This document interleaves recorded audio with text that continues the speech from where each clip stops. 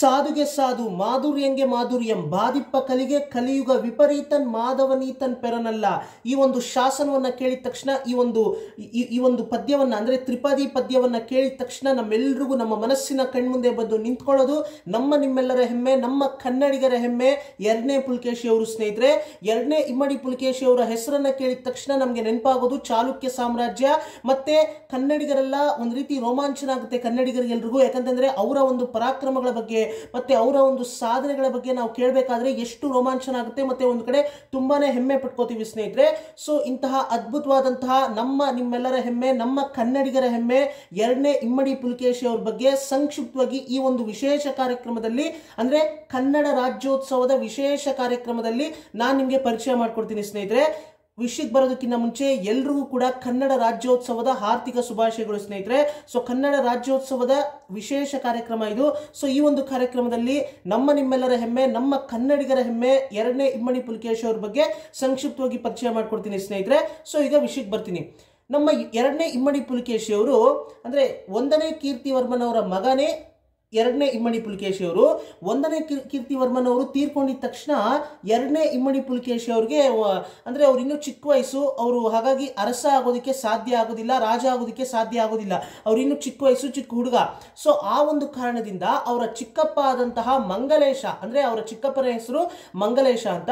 So Mangalesha ಅವರು ಈ ಒಂದು ರಾಜ್ಯವನ್ನು ನಾನು ಜವಾಬ್ದಾರಿಯನ್ನು ತಗೊಂಡು, ಇವನು ದೊಡ್ಡವನಾಗೋವರೆಗೂ ನಾನು ಜವಾಬ್ದಾರಿಯನ್ನು ವಹಿಸಿಕೊಂಡು ಇಲ್ಲಿ ಮಾಡಬೇಕಾದಂತಹ ಕೆಲಸಗಳು, ಎಲ್ಲ ಜವಾಬ್ದಾರಿಗಳನ್ನು ನಾನು ಮ್ಯಾನೇಜ್ ಮಾಡ್ತೀನಿ ಅಂತ ಅವರು ಒಪ್ಕೋತಾರೆ.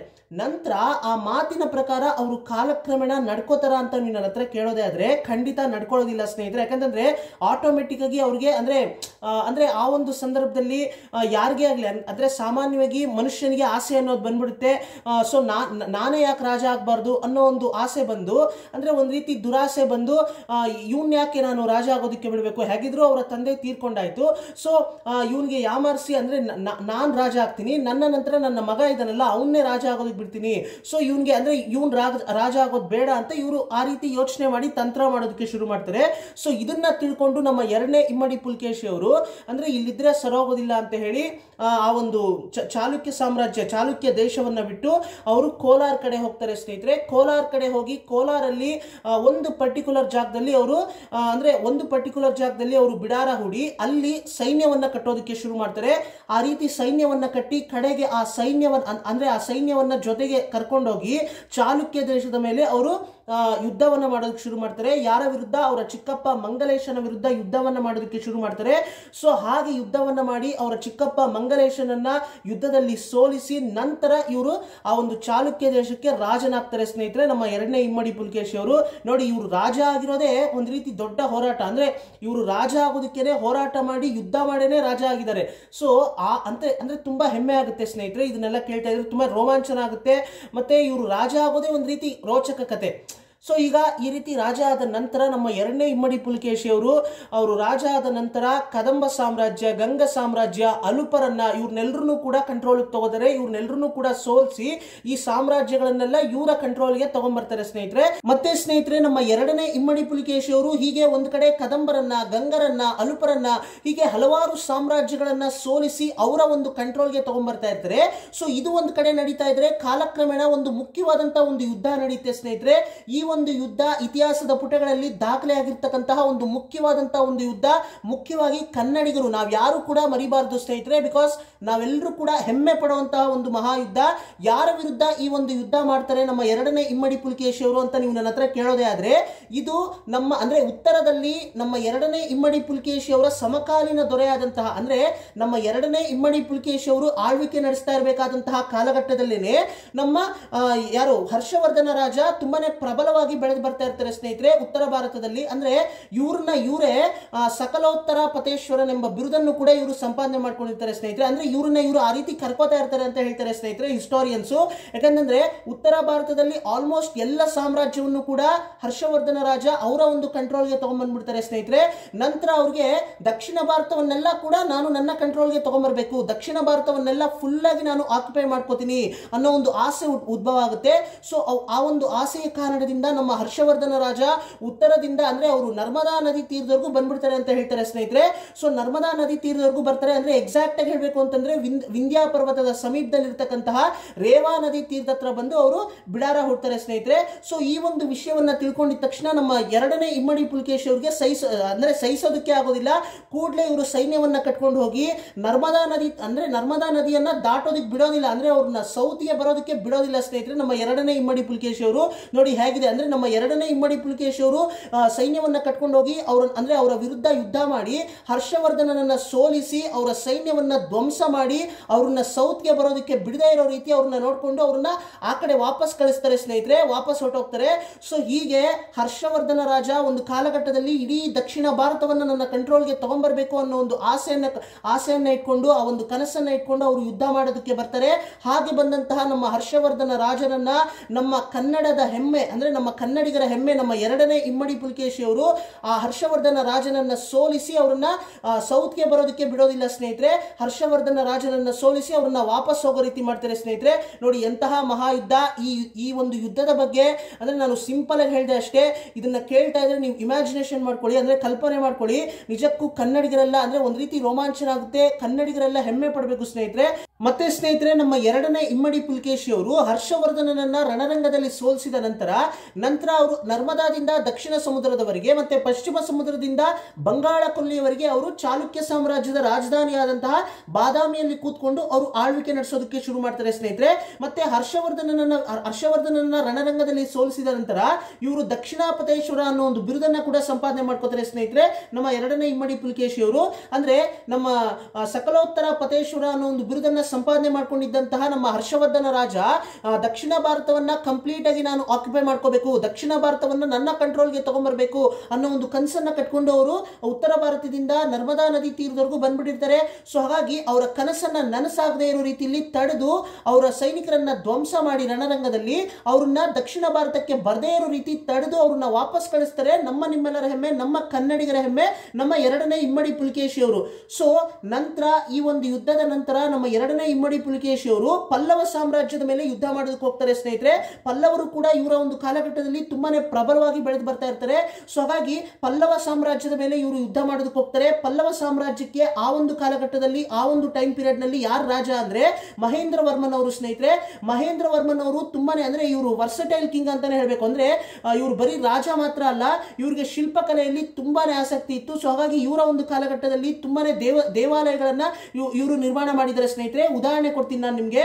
ಈಗಲೂ ಕೂಡ ಕಾಂಜಿಪುರಂನಲ್ಲಿರ್ತಕ್ಕಂತಹ ಮಾಮಲ್ಲಪುರಂ ಅಂದ್ರೆ ಆ ಒಂದು ಬೀಚ್ ಏನಿದೆ ಮಾಮಲ್ಲಪುರಂ ಬೀಚ್ನ ಅಂದರೆ ಆ ಒಂದು ಸಮುದ್ರದ ತೀರದಲ್ಲಿರ್ತಕ್ಕಂತಹ ಒಂದು ದೇವಸ್ಥಾನ, ನೀವೆಲ್ಲ ನೋಡಿರ್ತೀರಾ, ನೀವೆಲ್ಲ ಕೇಳಿರ್ತೀರಾ? ಅಂದರೆ ನೀವು ನಿಮ್ಮಲ್ಲಿ ಯಾರು ನೋಡಿಲ್ಲ ಅಂತಂದ್ರು, ಅಂದರೆ ಹತ್ತಿರ ಹೋಗಿ ನೋಡಿಲ್ಲ ಅಂತಂದ್ರು, ಕೆಲವರು ಬುಕ್ಸ್ನಲ್ಲಿ ಅಥವಾ ಅಲ್ಲಲ್ಲಿ ನ್ಯೂಸ್ ಪೇಪರ್ಸ್ನಲ್ಲಿ ಎಲ್ಲೋ ಒಂದು ಕಡೆ ನೋಡಿರ್ತೀರಾ ಆ ಒಂದು ಚಿತ್ರವನ್ನು, ಆ ಒಂದು ದೇವಸ್ಥಾನದ ಆರ್ಕಿಟೆಕ್ಚರನ್ನು ನೀವು ಎಲ್ಲೋ ಒಂದು ಕಡೆ ನೋಡಿ, ನೋಡಿರ್ತೀರಾ ಸ್ನೇಹಿತರೆ? ಯಾಕಂದರೆ ತುಂಬಾ ಜನಪ್ರಿಯವಾದಂಥ ಒಂದು ದೇವಸ್ಥಾನ. ಮತ್ತೆ ಒಂದು ಕಾಲಘಟ್ಟದಲ್ಲಿ ಆ ಒಂದು ದೇವಸ್ಥಾನ ಏನಿದೆ, ಆ ಒಂದು ಜಾಗ ಏನಿದೆ, ಅದು ಬಂದರು ಪ್ರದೇಶವಾಗಿ ಬೇರೆ ಬೇರೆ ದೇಶಗಳಲ್ಲಿ ಇವರು ಟ್ರೇಡ್ ಮಾಡ್ತಾ ಇದ್ರಂತೆ ಸ್ನೇಹಿತರೆ. ನಮ್ಮ ಪಲ್ಲವರು. ಸೊ ಈಗ, ಈಗೆಲ್ಲ ಹೇಳ್ತಾರೆ ಸಂಶೋಧಕರು. ಸೊ ಅಂತಹ ಪಲ್ಲವರನ್ನ ಸೋಲಿಸಬೇಕು. ಪಲ್ಲವ ಸಾಮ್ರಾಜ್ಯವನ್ನ ಪಲ್ಲವ ಸಾಮ್ರಾಜ್ಯವನ್ನ ನನ್ನ ಕಂಟ್ರೋಲ್ಗೆ ತಗೊಬೇಕು. ಅಂದ್ರೆ ಪಲ್ಲವ ಸಾಮ್ರಾಜ್ಯವನ್ನ ಸೋಲಿಸಬೇಕು. ಅವ್ರನ್ನ ಸೋಲಿಸಿ ನನ್ನ ಕಂಟ್ರೋಲ್ಗೆ ತಗೊಬೇಕು ಅನ್ನೋ ಒಂದು ಕನ್ಸನ್ನ ಕನಸನ್ನ ಕಟ್ಕೊಂಡು ನಮ್ಮ ನಮ್ಮ ಎರಡನೇ ಇಮ್ಮಡಿ ಪುಲಿಕೇಶಿಯವರು ಯುದ್ಧ ಮಾಡೋದಕ್ಕೆ ಹೋಗ್ತಾರೆ ಸ್ನೇಹಿತರೆ. ಸೊ ಹೀಗೆ ಯುದ್ಧ ಮಾಡೋದಕ್ಕೆ ಹೋಗಿ ಮಹೇಂದ್ರ ವರ್ಮನ್ ಅವ್ರನ್ನ ರಣರಂಗದಲ್ಲಿ ಸೋಲಿಸ್ತಾರೆ ಸ್ನೇಹಿತರೆ. ಸೋಲಿಸಿದ ನಂತರ ಅಂದ್ರೆ ಇಡೀ, ಅಂದ್ರೆ ಆ ಒಂದು ಕೋಪ ಹೇಗಿರುತ್ತಂತಂದ್ರೆ, ನಮ್ಮ ಎರಡನೇ ಇಮ್ಮಡಿ ಪುಲಿಕೇಶಿಯವರು ಇಡೀ ಆ ಒಂದು ಕಾಂಜಿಪುರಂ ಕ್ಯಾಪಿಟಲ್ ಏನಿದೆ, ಅದನ್ನೆಲ್ಲ ಧ್ವಂಸ ಮಾಡಬೇಕು ಅನ್ನೋ ಒಂದು ಕೋಪದಲ್ಲಿ ಆಕ್ರೋಶದಿಂದ ಬಂದಿರ್ತಾರೆ ಸ್ನೇಹಿತರೆ. ಆದರೆ ಅಲ್ಲಿರ್ತಕ್ಕಂಥ ಶಿಲ್ಪಕಲೆಗಳು ಮತ್ತೆ ಆ ದೇವಾಲಯಗಳನ್ನು ನೋಡಿ, ಪಲ್ಲವರು ನಿರ್ಮಾಣ ಮಾಡಿದಂತಹ ಆ ಒಂದು ದೇವಾಲಯಗಳನ್ನು ನೋಡಿ, ಅಯ್ಯೋ, ಎಂತಹ ಅದ್ಭುತವಾದಂತಹ ರಾಜಧಾನಿ, ಎಂತಹ ಅದ್ಭುತವಾದಂತಹ ದೇವಾಲಯ, ಅದರಲ್ಲೂ ಎಂತಹ ಶಿಲ್ಪಕಲೆಗಳು, ಇದನ್ನ ನಾನು ಧ್ವಂಸ ಮಾಡೋದಾ? ಛೇ, ನನ್ನಿಂದ ಸಾಧ್ಯ ಇಲ್ಲ. ಆ ರೀತಿ ಮಾಡಲೂಬಾರ್ದು, ಅದು ಧರ್ಮಕ್ಕೆ ವಿರುದ್ಧ. ಆ ರೀತಿ ಮಾಡಬಾರ್ದು ಅಂತ ಹೇಳಿ ನಮ್ಮ ಎರಡನೇ ಇಮ್ಮಡಿ ಪುಲಕೇಶಿ ಅವರು ಸರಿ, ನೀವು ಯುದ್ಧದಲ್ಲಿ ಸೋತಿದ್ದೀರಾ? ಅಷ್ಟೇ ಸಾಕು ನನಗೆ ಅಂತ ಹೇಳಿ ಅವರು ವಾಪಸ್ ಹೋಗ್ಬಿಡ್ತಾರೆ ಅಂತ ಹೇಳ್ತಾರೆ ಸ್ನೇಹಿತರೆ. ಎಷ್ಟೋ ಸಂಶೋಧಕರು ನೋಡಿ ಹೇಗಿದೆ ಅಂದ್ರೆ ಇದನ್ನೆಲ್ಲ ಕೇಳ್ತಾ ಇದ್ರೆ ತುಂಬಾನೇ ರೋಮಾಂಚನ ಆಗುತ್ತೆ ನಮ್ಮ ಪೂರ್ವಜರು ಏನೇ ಯುದ್ಧ ಮಾಡಿದ್ರು ಕೂಡ ಅಂದ್ರೆ ಅವರಲ್ಲಿ ಅಂದ್ರೆ ಆ ಯುದ್ಧ ಬಂದು ಧರ್ಮಕ್ಕೆ ಅಂದ್ರೆ ಧರ್ಮ ಯುದ್ಧ ಅಂತ ನಡೀತಾ ಇದ್ದಿದ್ದು ಸ್ನೇಹಿತರೆ. ಆ ಯುದ್ಧದಲ್ಲಿ ಧರ್ಮವನ್ನ ಇವರು ಪಾಲಿಸ್ತಾ ಇದ್ರು. ಧರ್ಮಕ್ಕೆ ವಿರುದ್ಧವಾಗಿ ನಮ್ಮ ಪೂರ್ವಜರು ಯಾರೂ ಕೂಡ ನಡ್ಕೊಂಡಿಲ್ಲ ಸ್ನೇಹಿತರೆ. ಇತಿಹಾಸದ ಪುಟಗಳಲ್ಲಿ ದಾಖಲೆ ಆಗಿರ್ತಕ್ಕಂಥ ಮಾಹಿತಿಯ ಪ್ರಕಾರ ನಮ್ಮ ಪೂರ್ವಜರು ಧರ್ಮಕ್ಕೆ ವಿರುದ್ಧವಾಗಿ ಯಾರು ಕೂಡ ನಡ್ಕೊಂಡಿಲ್ಲ. ಸೊ ಇದನ್ನ ನೀವು ನೆನಪಲ್ಲಿ ಇಟ್ಕೊಳ್ಳಿ ಸ್ನೇಹಿತರೆ. ನಂತರ ಮಹೇಂದ್ರ ವರ್ಮನ್ ಅವ್ರನ್ನ ಸೋಲಿಸ್ತಾರೆ. ನಂತರ ಕಾಂಜಿಪುರಂನ ಅವರ ಕಂಟ್ರೋಲ್ಗೆ ತಗೊಂತಾರೆ. ಅಂದರೆ ಕಂಟ್ರೋಲ್ಗೆ ತಗೋತಾರೆ. ನಂತರ ಕಾಲಕ್ರಮೇಣ ಮಹೇಂದ್ರ ವರ್ಮನ್ ಅವರ ಮಗ, ಅಂದರೆ ನಮ್ಮ ಈ ರೀತಿ ಯುದ್ಧ ಮಾಡಿ ನನ್ನ ತಂದೆಯನ್ನು ಸೋಲಿಸಿ ಇಮ್ಮಡಿ ಪುಲ್ಕೇಶವರು ಈ ರೀತಿ ಹೋಗಿದಾರಲ್ಲ. ಸೊ ನಾನು ಸೇಡನ್ನು ತೀರಿಸ್ಕೊಂಡೇ ತೀರಿಸ್ಕೋತೀನಿ ಅಂತ ಹೇಳಿ, ನಮ್ಮ ಮಹೇಂದ್ರ ವರ್ಮನ್ ಅವರ ಮಗ, ಮಹೇಂದ್ರ ವರ್ಮನ್ ಅವರ ಮಗ ನರಸಿಂಹ ವರ್ಮನ್ ಅವರು ಮತ್ತೆ ಯುದ್ಧ ಮಾಡೋದಕ್ಕಂತ ಬಾದಾಮಿಗೆ ಹೋಗ್ತಾರೆ ಸ್ನೇಹಿತರೆ. ಬಾದಾಮಿಗೆ ಬಂದು ಯುದ್ಧ ಮಾಡೋದಕ್ಕಂತ ಬಂದು ಆ ಒಂದು ಯುದ್ಧದಲ್ಲಿ ನಮ್ಮ ನಿಮ್ಮೆಲ್ಲರ ಹೆಮ್ಮೆ, ನಮ್ಮ ಕನ್ನಡಿಗರ ಹೆಮ್ಮೆ, ನಮ್ಮ ಎರಡನೇ ಇಮ್ಮಡಿ ಪುಲ್ಕೇಶಿ ಅವರು ವೀರ ಮರಣವನ್ನ ಹೊಂದುತ್ತಾರೆ ಸ್ನೇಹಿತರೆ, ವೀರ ಮರಣವನ್ನ ಹೊಂದುತ್ತಾರೆ. ಸೊ ಅಂದ್ರೆ ಇಲ್ಲಿವರೆಗೂ, ಅಂದ್ರೆ ನಾನು ಜಸ್ಟ್ ಒಂದು ಸಂಕ್ಷಿಪ್ತವಾಗಿ ನಮ್ಮ ನಮ್ಮ ಕನ್ನಡಿಗರ ಹೆಮ್ಮೆ, ನಮ್ಮ ಎರಡನೇ ಇಮ್ಮಡಿ ಪುಲಿಕೇಶಿ ಅವ್ರ ಬಗ್ಗೆ ಒಂದು ಸಂಕ್ಷಿಪ್ತವಾಗಿ ನಾನು ಮಾಹಿತಿ ಕೊಟ್ಟಿರೋದಷ್ಟೇ. ಇದು ಜಸ್ಟ್ ಟೀಸರ್ ಅಂತಾನು ಹೇಳಲ್ಲ, ಹೇಳೋದಕ್ಕಾಗೋದಿಲ್ಲ, ಒಂದು ಜಸ್ಟ್ ಗ್ಲಿಮ್ಸ್ ಅಂತ ಹೇಳ್ಬೋದು ಅಷ್ಟೇ ಸ್ನೇಹಿತರೆ. ಮತ್ತೆ ಶಿಲ್ಪಕಲೆಗಳು, ಮತ್ತೆ ದೇವಸ್ಥಾನಗಳು ಪ್ರಾಚೀನವಾದಂತಹ ದೇವಾಲಯಗಳು, ಇದ್ರ ಬಗ್ಗೆ ನಾವು ಮಾತಾಡೋದೇ ಆದ್ರೆ, ನಮ್ಮ ಎರಡನೇ ಇಮ್ಮಡಿ ಪುಲಿಕೇಶಿ ಅವರ ಕಾಲಘಟ್ಟದಲ್ಲಿ ಅಂದರೆ ತೆಲಂಗಾಣ, ಆಂಧ್ರ ಪ್ರದೇಶ, ಕರ್ನಾಟಕ ಮತ್ತು ಕಾಂಬೋಡಿಯಾ, ಥೈಲ್ಯಾಂಡು ಅಂದರೆ ಸಮುದ್ರದ ಆಚೆಗೂ ಕೂಡ ದೇವಾಲಯಗಳನ್ನು ನಿರ್ಮಾಣ ಮಾಡಿದ್ದಾರೆ ಸ್ನೇಹಿತರೆ. ಚಾಲುಕ್ಯರು ಈ ರೀತಿ ಹಿಸ್ಟೋರಿಯನ್ಸು ಹೇಳ್ತಾರೆ ಸ್ನೇಹಿತರೆ. ಅಂದರೆ ಅವ್ರಿಗೆ ಸಿಕ್ಕಿರ್ತಕ್ಕಂಥ ಸಾಕ್ಷ್ಯಾಧಾರಗಳನ್ನು ಆಧಾರವಾಗಿಟ್ಕೊಂಡು ಹಿಸ್ಟೋರಿಯನ್ಸು ಹೇಳಿದ್ದಾರೆ ಸ್ನೇಹಿತರೆ. ಸಂಶೋಧಕರು ಹೇಳಿರೋ ಪ್ರಕಾರ ಥೈಲ್ಯಾಂಡು, ಕಾಂಬೋಡಿಯಾ ತೆಲಂಗಾಣ, ಆಂಧ್ರ ಪ್ರದೇಶ ಕರ್ನಾಟಕ ಅಂದ್ರೆ ಈ ಈ ಭಾಗಗಳಲ್ಲಿ ಇವರು ಚಾಲುಕ್ಯರು ದೇವಸ್ಥಾನಗಳನ್ನು ನಿರ್ಮಾಣ ಮಾಡಿದ್ದಾರೆ ಸ್ನೇಹಿತರೆ. ಮತ್ತೆ ಕಾಂಬೋಡಿಯಾದಿಂದ ಮತ್ತೆ ಥೈಲ್ಯಾಂಡ್ ಇಂದ ಇವರು ಆನೆಗಳನ್ನ ಮತ್ತೆ ಕುದುರೆಗಳನ್ನ ಇವರು ಆಮದು ಮಾಡ್ಕೋತಾ ಇದ್ರಂತೆ. ಅಂದ್ರೆ ಇಂಪೋರ್ಟ್ ಮಾಡ್ಕೋತಾ ಇದ್ರಂತೆ ಸ್ನೇಹಿತರೆ. ಅಂದ್ರೆ ಯುದ್ಧಕ್ಕೆ ಅಂದ್ರೆ ಯುದ್ಧಕ್ಕೆ ಬೇಕಾಗುತ್ತಲ್ವಾ?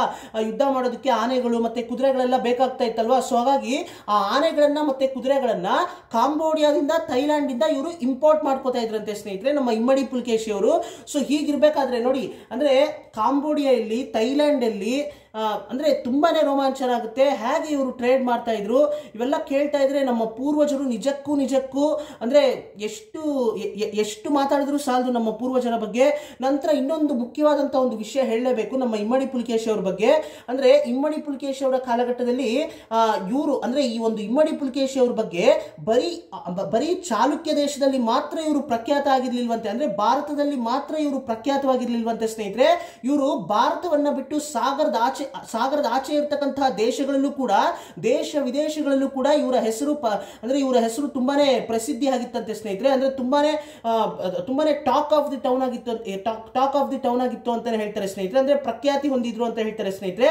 ಇದಕ್ಕೆ ಒಂದು ಸಣ್ಣ ಉದಾಹರಣೆಯನ್ನ ಕೊಡಬೇಕು ಅಂತಂದ್ರೆ ಇರಾನ್ ಇರಾನ್ ದೇಶದ, ಅಂದ್ರೆ ಇವರ ಸಮಕಾಲೀನ ದೊರೆಯಾದಂತಹ ಇರಾನ್ ದೇಶದ ರಾಜ ಎರಡನೇ ಕುಸ್ರು ಅವರು ಅವರ ರಾಯಭಾರಿಯ ಮುಖಾಂತರ ಸುಮ್ ತುಂಬಾನೇ ಅಮೂಲ್ಯವಾದಂತಹ, ತುಂಬಾನೇ ಬೆಲೆ ಬಾಳುವಂತಹ ಎಷ್ಟೋ ಬಹುಮಾನಗಳನ್ನ ರಾಯಭಾರಿಯ ಮುಖಾಂತರ ಚಾಲುಕ್ಯ ದೇಶದಲ್ಲಿ ಆಳ್ವಿಕೆ ನಡೆಸ್ತಾ ಇದ್ದಂತಹ, ಅಂದ್ರೆ ಬಾದಾಮಿಯನ್ನ ರಾಜಧಾನಿಯನ್ನಾಗಿ ಮಾಡಿಕೊಂಡು ಆಳ್ವಿಕೆ ನಡೆಸ್ತಾ ಇದ್ದಂತಹ ಇಮ್ಮಡಿ ಪುಲಿಕೇಶ್ ಅವ್ರಿಗೆ ಕೊಟ್ಟು ಕಳಿಸ್ತಾ ಇದ್ರಂತೆ ಸ್ನೇಹಿತರೆ.